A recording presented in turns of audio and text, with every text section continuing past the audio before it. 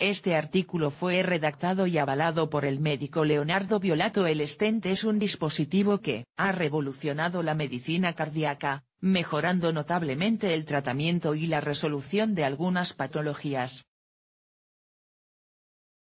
Por ejemplo, constituye una de las principales opciones ante una obstrucción de las arterias coronarias.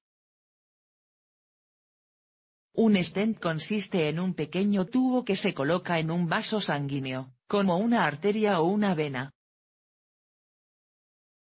Es un tubo autoexpandible, por lo que, al colocarlo, lo que se pretende es dilatar ese vaso que estaba obstruido o estrechado por algún motivo.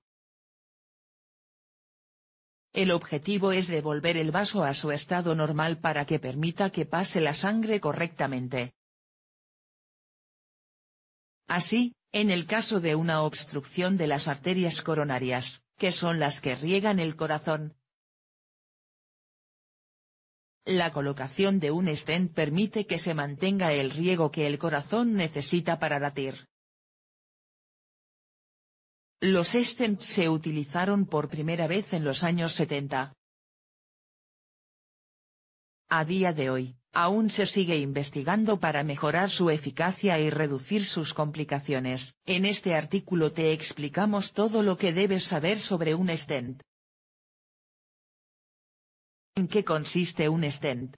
Como ya hemos mencionado, un stent es un pequeño tubo que se coloca en un vaso sanguíneo que se encuentra obstruido o estrechado. Una vez colocado, este dispositivo se expande, dilatando esa arteria o vena, y permitiendo que el flujo sanguíneo discurra con normalidad. El stent se coloca mediante una intervención quirúrgica que recibe el nombre de angioplastia.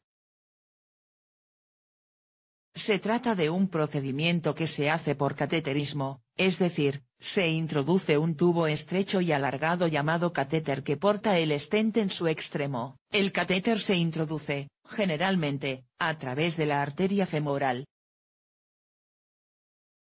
De esta manera, se introduce a la altura del muslo y, conduciendo el catéter a través de los vasos, se alcanza la zona donde se necesita colocar el stent. Su uso más común es en las arterias coronarias, no obstante, un stent puede utilizarse en otras muchas patologías aparte de la enfermedad coronaria, por ejemplo, puede servir para dilatar otros conductos, como los uréteres. También es útil en patologías como los aneurismas o en estrechamientos de otras arterias, como la renal. ¿Qué tipos de stent existen?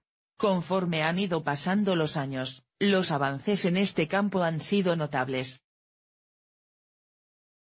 El primer stent que se empleó, y que hoy en día se denomina stent convencional, estaba hecho de metal. Normalmente, se utilizaba acero inoxidable o cromo. El stent convencional es bastante efectivo, además de ser el más económico de todos los tipos. El problema de este tipo de stent era que el vaso donde se había colocado se podía volver a obstruir.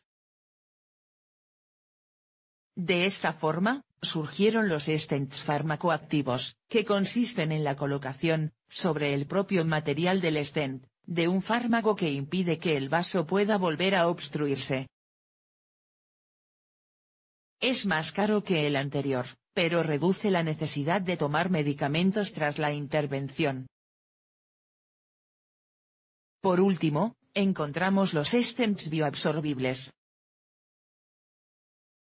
son como los farmacoactivos, con la mejora de que el material con el que están fabricados se puede reabsorber, es decir, nuestro organismo es capaz de degradarlo y hacerlo desaparecer.